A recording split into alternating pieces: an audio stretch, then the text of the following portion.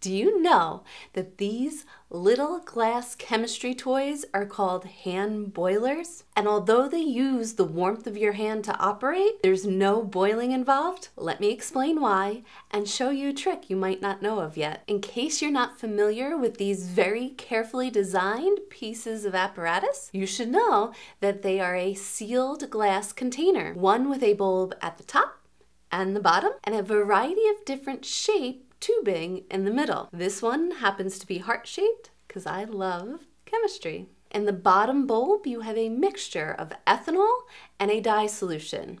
The dye could be a variety of different colors to make it a little more fun. When you place these very carefully in the palm of your hand, the warmth of your hand causes a solution to travel up through the tubing until it gets to the top bulb, where it appears to be boiling, but it's just some bubbling occurring. If you want to reverse this operation, all you have to do is switch bulbs, and the solution will travel in reverse. Let me explain to you just why there's bubbling occurring and no boiling. First and foremost, at the surface of any liquid, the molecules there are breaking intermolecular forces, or the attractions between those molecules. And when they do so, they're able to leave the liquid state and enter the gaseous state. And once there, they create a little bit of pressure at the surface of that liquid. We call this vapor pressure. Any liquid has a certain amount of vapor pressure associated with it at a given temperature. Just how much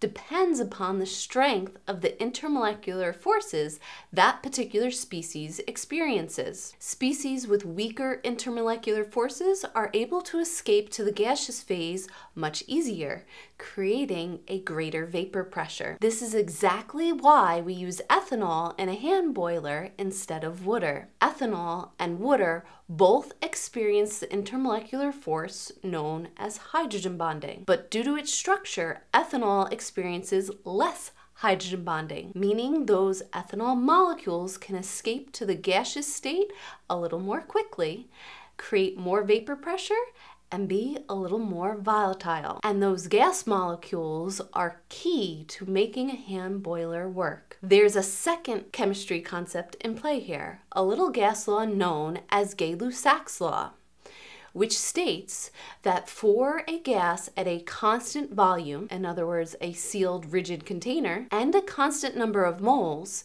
the pressure and temperature are directly proportional. So if temperature goes up, pressure goes up. If temperature goes down, pressure goes down. When you place that hand boiler in your hand, the warmth of your hand increases the temperature of the gas molecules sitting above that solution of ethanol and dye. That increases the vapor pressure and forces that solution up through the tubing to the top bulb. Once the majority of that solution gets up to that top bulb, then the gas bubbles also travel through the tubing, making that solution appear to boil, but it's just the gaseous ethanol bubbling through the tubing. Now let me show you a little trick you may not be aware of with these toys. The very first thing you're going to need to do is ensure that all of the solution is in the bottom bowl. This might require you to twist and turn your apparatus ever so slightly to make sure the solution gets through the tricky tubing part. Next, you're gonna need a beaker or glass of ice water. Then you're gonna take your hand boiler and you're gonna flip it upside down. What this does is it ensures that the solution is down below the tubing that runs into that larger bulb. Once it's flipped, you're still going to need to wrap your palm around that bulb.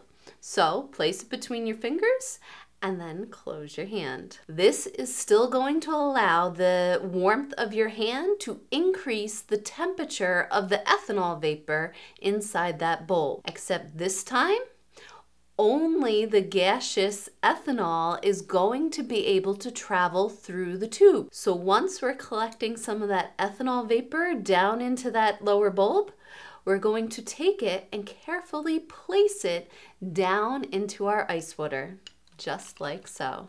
Depending upon the warmth of your hand, it shouldn't take much time at all for you to start to observe a clear solution forming in the bottom bulb. The reason why it's clear is because in the top bulb, you only have gaseous ethanol. Those dye molecules, they're never able to reach the vapor state. So the only molecules traveling through the tube this time are the gaseous ethanol. When they reach the bottom bulb, that bottom bulb is now down in that ice water and being cooled.